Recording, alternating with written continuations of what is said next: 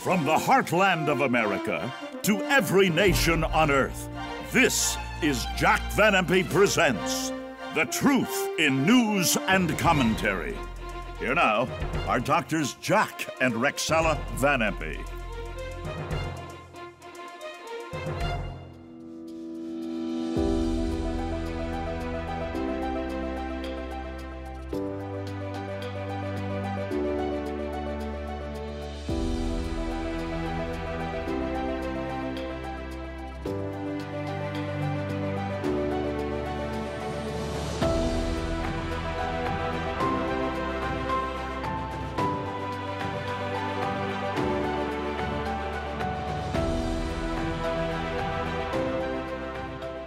Hello and welcome to Jack Van Impe Presents.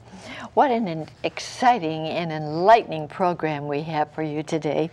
And this first headline certainly catches my attention, believe me. Russia, China, going together. And where the, does the U.S. fit in? That's a headline. Russia, China, where does the U.S. fit in? Whoa, people are wondering about the United States and exactly where we do fit in, but Jack's going to address that in just a moment. And then, secondly, ISIS gaining ground in Libya. Oh, my heart goes out to them. And then Netanyahu says Israel fighting to the death against terrorism. He's standing up He's saying we're not going to just lie down and let them take our country from us. We will fight to the end. Now, you remember last week, Jack said that he would be bringing us uh, once again his thoughts about Russia. In fact, I told you last week that um, the first time I ever heard him speak, he was speaking on the coming war with Russia. I'd like for you to see on the screen right now, he made a record out of this years and years ago. Woo! See why I thought he was handsome? Doesn't he look good there? The coming, the coming war with Russia. Where? When? Why? According to the Bible. Mm-hmm. And he's had the Bible in his hand ever since I've known him. He's not going to speak unless he uses the Bible. So, Jack, uh, the coming war with Russia, are we really going to have a war? Oh, Rexella, I've preached 801 week church crusades and then 250 mass citywide endeavors to 10 million people. I deliver this message in every major city of the United States of America. Hundreds and thousands came to know Christ. And I want to tell you something we are definitely going to have a war with Russia.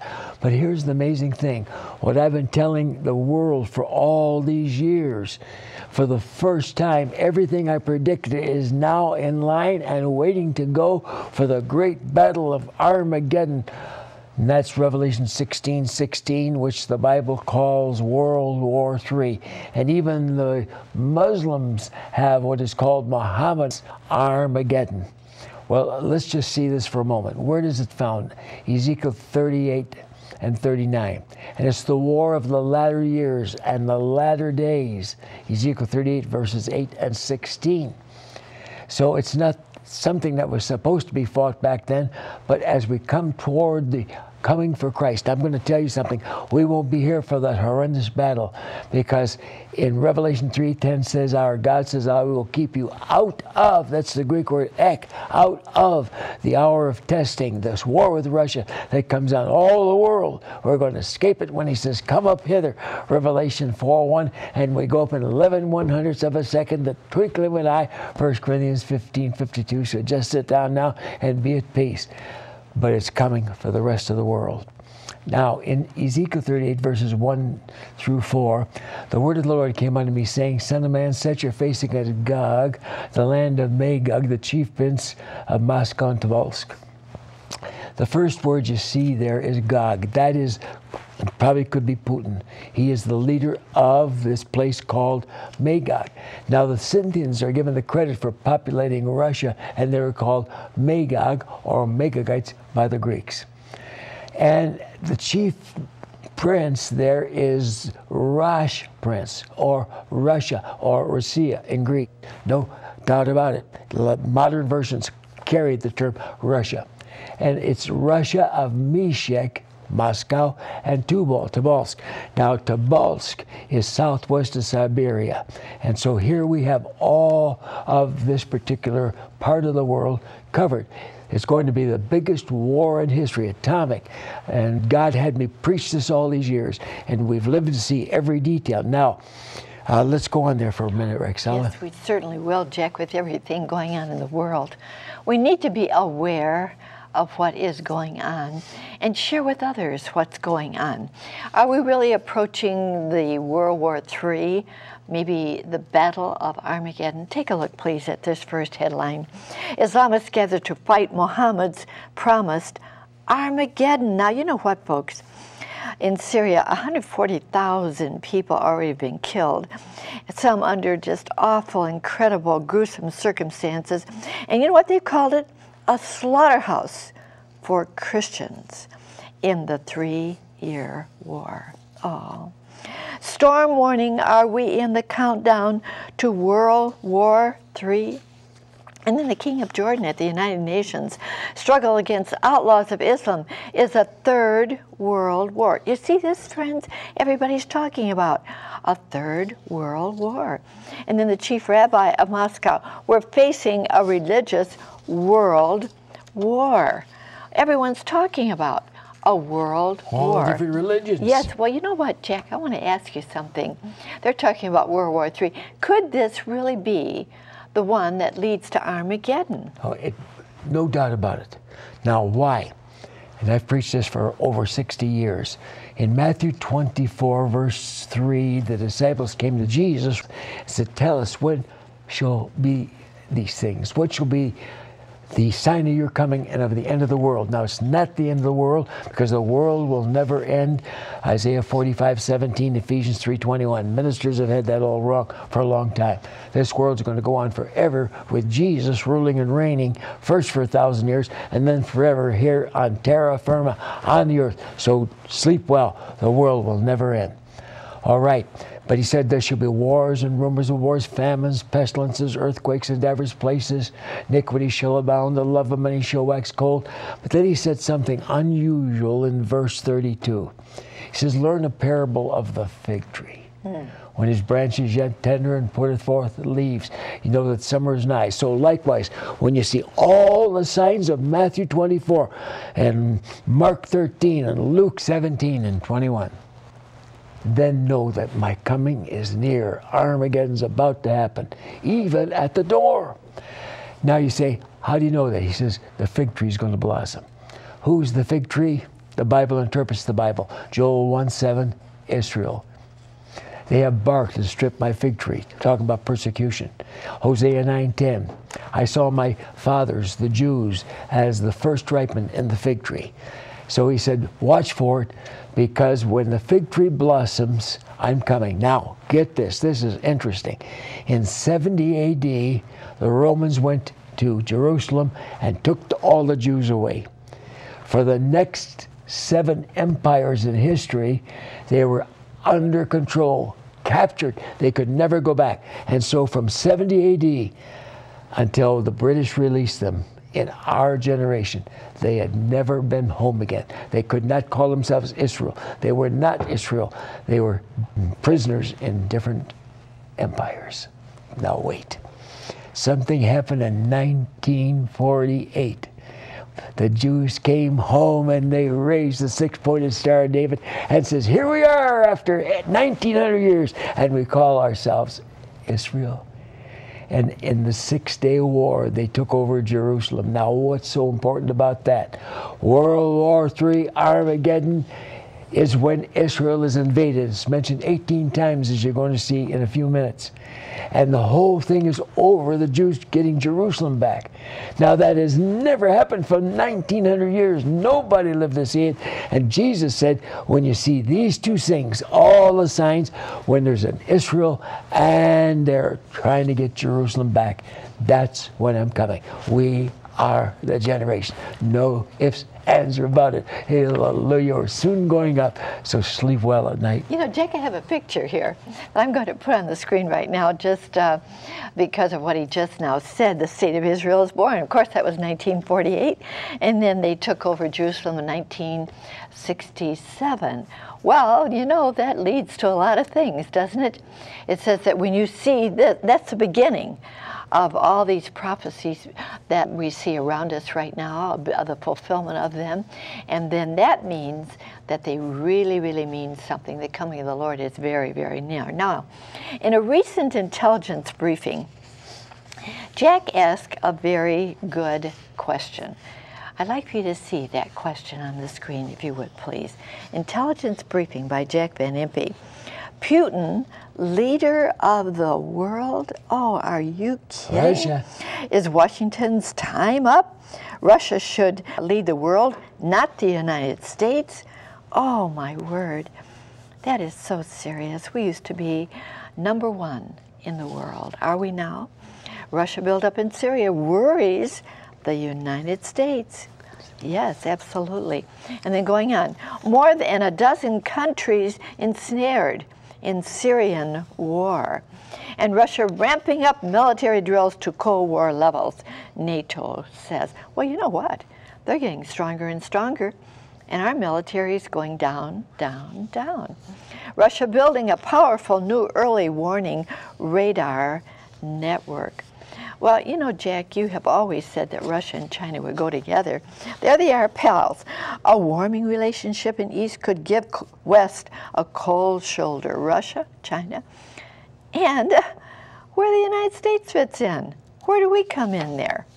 And U.S. Admiral, China to have nuclear missiles on subs very soon. Chinese president calls for creation of a Palestinian state. Well, Jack, would you like to elaborate on all this? He said years ago that Russia and China were going to go together mm-hmm. and that they would be the number one um, power in the world. Jack? Daniel 11:44 Tidings trouble out of the east and out of the north shall come against Israel. The east of course is the oriental nations. Now, that's Revelation 16:12. They're coming from the east and they're crossing the Euphrates River area on dry ground. Come on now. And by the way, ISIS is stationed at that very place. That's their headquarters. And so they're going to have a big part in Armageddon. But China comes down. Now get this. How can they come across on dry ground? Turkey, that's Ezekiel 38:6, has invented the Anatolia Project. And that is 22 dams, and they push a few buttons, and the river Euphrates dries up. And so, for the first time in world history, they can come across on dry ground, and they're way down to get the Jew in his homeland. Wow. No doubt about it. And that battle is described in Revelation chapter 9, verses 14 18. This is Armageddon. And ISIS is there. Listen to this. Loose the four demons in the great river Euphrates to slay a third part of mankind. The number of the army was 200,000, 200 million. And by these three was a third part of men killed fire, smoke, brimstone, atomic warfare. We'll see more of that in a moment. Yes. It's all here. But all the minor nations, the Muslim nations are coming into it. Let's get into it, Rexella. Jack, you know what? We all know that we've just made quite a deal, a nuclear deal with Iran. Uh, take a look, if you will, please, at some of the participants that made that deal with Iran. There they are. Oh my, oh my. And then going on, there's Germany and China and all the rest. And there is U.S. Secretary of State John Kerry. Of course, he had an awful lot to do with that. And then the cleric, U.S. Iran's number one enemy despite the nuclear deal. Uh, oh my word, they're our number one enemy despite our deal. And then Khomeini, now he is the head clergy of Iran. The Americans are trying to destroy Islam. Oh my. And then Iraqi columnist, ISIS terror is based on Islam. My, that's quite a statement also. Khomeini, he speaks again. Iran never trusted the West, seeks closer ties with China. Well, that's what Jack's been saying. They're all going to go together Russia, China, and of course the Islamic nations. Going on, entering Syrian war, Russia and Iran see Mid East resurgence. Let me stop there for a minute. All right, Rexella. Jack. Iran is Persia of Ezekiel 38:5, and Persia changed its name to Iran in Iraq in 1932. I preached it and didn't know it yet, but here it's all happened. Certainly is all happening, Jack, and we're going to be naming other nations, and I'm going to put them on the spot and uh, name some of those nations and see if they're in the Bible. The first one, Egypt, towards ISIS attack in the Sinai. And then ISIS gaining ground in Libya, warns American official. Oh my. And then Turkish border on brink of becoming a Russian war front. Oh, that's so important. U.S. warns ISIS will speed up pace of global attacks. Oh, that's so sad. Speed up their pace. Oh, all right. Let's put Jack on the spot right here. He has already talked about Iran and Iraq. Oh, Persia. But let's go to Egypt, Jack. Daniel 11:42. All right, Libya, Ethiopia. Uh, Ezekiel 38 verses 5 and 6, and Togarmah is Turkey. Oh, oh Togarmah, I was going to bring that up. Yeah. And then Syria. Oh, Syria, Isaiah 17:1. Damascus, the capital of Syria, becomes a heap of rubble. 250,000 have already been slaughtered there, and there's much more ahead as 10 nations are beginning to come to that area for the greatest war in history, as we just read in this morning's paper.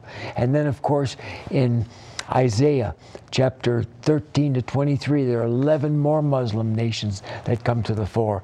And then when you get to Psalm 83, verses 5 and onward, there are another 10 or 15 nations, the Hagarites, all the tribes from Hagar, uh, who Abraham uh, brought into the world through Hagar. Now listen to me very carefully. Psalm 83 4. Let us cast Israel off from being a nation, that their name be no more in remembrance. They said, all of these 38 nations are going to try to obliterate and blot out a place called Israel. They hate the Jew. Well, Jack, I'm going to say, where will Israel really fit in? Uh, will they fight? Are they going to give up or what? This next headline is very important as to where Israel really fits in. Take a look. Netanyahu, Israel fighting to the death against terror. Israel told, prepare for Armageddon and, yes, forget U.S. help. And then uh, Alexa, speaker, the slaughter of the Jews is near. Well, they're aiming for that. Khomeini calls for Muslim unity for Israel's annihilation. Well, we see their hatred toward them. ISIS video series encourages Palestinians to slaughter Jews. Palestinians confirm U.S. studying abandoning Israel at the United Nations. Oh, and how immediate is the threat posed by Islamic State to Israel? My, oh my, there's a militant threatening uh, the Hebrew, Hebrew people. And he that keepeth Israel will neither slumber nor sleep. And of course, that's another of Jack's intelligence briefing. Jack, will Israel be destroyed? I like that last headline. Yeah. He that keepeth Israel will neither slumber nor sleep. And the greatest enemy against Israel is the President of the United States of America. God forgive him. The Wall Street Journal carried the big article. The most anti Semitic, anti Jew president in history is Obama. God forgive you, my friend. Muslims are having full control around that White House, according to Franklin Graham, Billy Graham's son. Now, let's go on here for a second. Where does the Bible say the war is going to be fought against Israel? 18 times. Now, this is the war, the latter years and the latter days, Ezekiel 38, verses 8 and 16. Now, watch it. Here's all the different places in those two chapters mentioning Israel as the battleground of the world for Armageddon. Ezekiel 38, verses 8, 14, 16, 17, 18, 19. Ezekiel 39 verses 2, 4, twice in 7, 9, 11, 12, 17, 22, 23, 25, and 29. You can't miss it. Alas, for that day is great, so that none is like it. It's the time of Jacob's trouble, and Jacob changed his name to Israel. 2 Kings 17 34. Oh, what those people are going to go through. Israel shall be invaded, but the Bible says in Isaiah that they are going to be spared. And oh, if anything, God loves the Jew, Mr. President. The Lord did not set his love upon you, Israel, because you're more in number than any other people, but because he loved you. Deuteronomy 7, verses 7 8. God says, They are my chosen. He says, They are my elect. Isaiah 42, 1, 45, 4, chapter 65, verses 9 and 22. Oh, I love this, Rexella. Israel is my betrothed, my fiance. I love them. Just like the church is the bride of Christ. No problem. And he goes on to say in Jeremiah 3:14, Israel is my wife. And he's not going to let them go down the drain. The biggest war is coming there, and you're going to see the armies of Iran and the armies of Russia, and all of them fall one sixth of their armies, Ezekiel 39, verses 1 and onward. The word of the Lord came unto me, saying, Son of man, set thy face against Gog, the land of Magog, Russia, the chief prince of that world area. What a burial ground it's going to be, but not Israel. I will give Israel an everlasting name. Isaiah 56 5. And the rest of the world is going to pay for what they're doing. Why? Because Jesus loves the Jew. He said, I'm going to be born. Do you know his name was not Jesus in heaven? Why? Because he was the second member of the Trinity, God from all eternity, long before Allah ever came along. He's not a prophet of Islam. He's our God and Savior. And in a couple weeks from now, I'm going to show you 1,200 verses that God gave me. And I'm going to give you a lot of those verses. That Israel will always exist as the most powerful nation in the world. When Christ comes, He doesn't set His kingdom up in New York City, He sets it up in Jerusalem. I know I love this, Philippians 2.10. At the name of Jesus, every knee shall bow of things in heaven and things on the earth and things under the earth and every tongue. And I love what Franklin Graham said. That includes Muhammad's. Every tongue shall confess that Jesus Christ is Lord to the glory of God the Father. Yes, God shall give Israel an everlasting name. Isaiah 56 5. They're going to reign in the world with Christ. And that goes on forever and forever and forever. And I'm going to tell you something. We are the rapture generation. 60 years I preached what you just heard. It took me a whole hour to do it in these crusades. Man, we really moved through it, Rexella. Praise the Lord. But what does it all mean? When you see all these things Jesus said, my coming is right at the door. Hallelujah. Come quickly, Lord Jesus. You're going to hear the words, Come up here to Revelation 4 1. The Lord himself shall descend from heaven with a shout, with the voice of the archangel, with the trumpet of God. The dead in Christ shall rise first. Then we which are alive and remain shall be caught up together with them, with the dead, in the clouds to meet the Lord in the air, and so shall we ever be with the Lord. Wherefore frighten one another with these no, no, words. No, no, no, no. Wherefore comfort one another with these words. He's about to come. Get ready. Absolutely. Get ready. Are you ready? Have you recognized who Jesus really is? Have you asked Him to come into your heart to be your Savior, to forgive you of your sins? Will you do that, please, as Jack prays this prayer of saying, Lord Jesus, thank you for coming, for being my Savior, for dying on the cross. Wash me in your precious blood and come into my heart. Will you pray that prayer with Jack right now?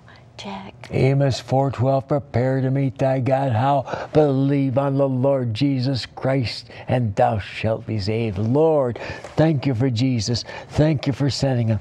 Thank you Jesus for the cross. Thank you for the shed blood to cover my sins and take them all away. Jesus, I receive you now as my own personal savior. Come into my heart Thank you, Jesus, for hearing my prayer and coming into my life. Amen. Amen. Did you pray that prayer? Oh, if you did, please write to me. I will send you this little book, The First Steps in a New Direction, as soon as I hear from you. You know, we need to be walking the right path with the Lord during these days, don't we? He alone can bring peace in a troubled world and peace in our lives. Let me know if you accepted Christ. First Steps in a New Direction. We have a wonderful, wonderful offer for you that um, you really need to pay attention to an order in just a moment because it's Jack Van Impe answers 35 most outstanding questions about Christianity and Bible prophecy. You got some questions? You need to really have this because it'll answer all of them. And when you order this, I'm going to be sending you, will it happen this year? Oh my. Oh my, it could happen this year. Now, here's our announcer to tell you how you can receive Dr. Jack Van Impe's answers to the 35 most startling questions about Christianity and Bible prophecy. Chuck? Thank you, Rexella. Oh, my friend, to order, have your credit card ready and call toll free 24 hours a day, 1 800 JVI 7777. To order by mail in the U.S., send your donation of $24.95 to Jack Van Impe Ministries, Box 7004, Troy, Michigan 48007. In Canada, send your donation of $24.95 to Jack Van Impe Ministries of Canada, Box 1717, Postal Station A, Windsor, Ontario, NINA 6Y1. Now, once again, here's Rexella. Thank you so much, Chuck. And I just want to encourage you to make the call. You really need to have this wonderful offer. And don't forget, I'll be sending you a gift. The wonderful Will It Happen this year. And of course, Jack is astounding when he goes right ahead and explains all the things in the Bible pertaining to the coming of the Lord. I want to leave you with a very, very good thought. Because the Lord is watching over us, I've said this before, we don't have to fear the dangers around us. Oh, how good to trust in the Lord. We'll look forward to being in your home again next week. And until then, remember, God cares for you, and so do we so very much.